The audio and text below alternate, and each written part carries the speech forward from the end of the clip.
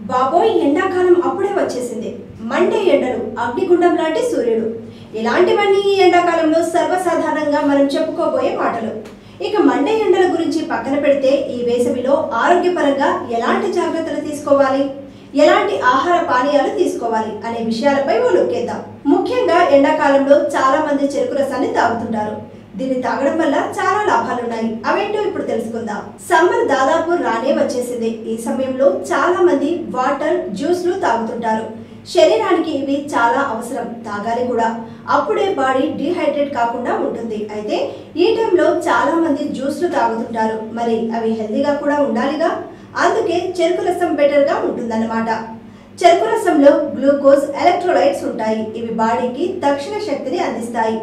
ఓ glass చెరుకు రసం తాగితే మన శరీరంలోని ఉష్ణోగ్రత తగ్గడంతో పాటు డీహైడ్రేషన్ సమస్య కూడా దూరం అవుతుంది చెరుకు రసంలో ఎక్కువగా మూత్ర విసర్జన లక్షణాలు ఉంటాయి. దీనివల్ల మన బాడీలోని అదనపు ఉప్పు నీటి శాతాన్ని తొలగిస్తుంది.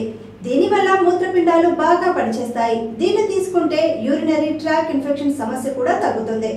శరీరంలో క్యాన్సర్ కణాలు ఏర్పడకుండా వృద్ధి చెందకుండా నిరోధించే గుణం చెరుకు రసంలో ఉంది. కాబట్టి క్యాన్సర్ వ్యతిరేక గుణాలున్న ఈ చెరుకు రసాన్ని రెగ్యులర్గా తీసుకోవడం మంచిది. చెరుకు రసంలో యాంటీ ఆక్సిడెంట్ మెగ్నీషియం ఐరన్ ఇంకా మరెన్నో పోషకాలు ఉన్నాయి. ఇవన్నీ కూడా మన చర్మానికి చాలా మంచివి. శరీర బలాన్ని పెంచి ఇమ్యూనిటీని బలంగా చేస్తాయి. అంతేకాకుండా బాడీలో బ్లడ్ సర్క్యులేషన్ బాగా జరుగుతుంది. చర్మం ఆరోగ్యంగా ఉంటుంది. వృద్ధాప్య లక్షణాలు దూరమై చర్మం మెరుస్తుంది. శరీరంలోని ముఖ్య అవయవాల్లో లివర్ కూడా ఒకటి. లివర్ సరిగ్గా పనిచేయకపోతే కామెర్లు వస్తాయి.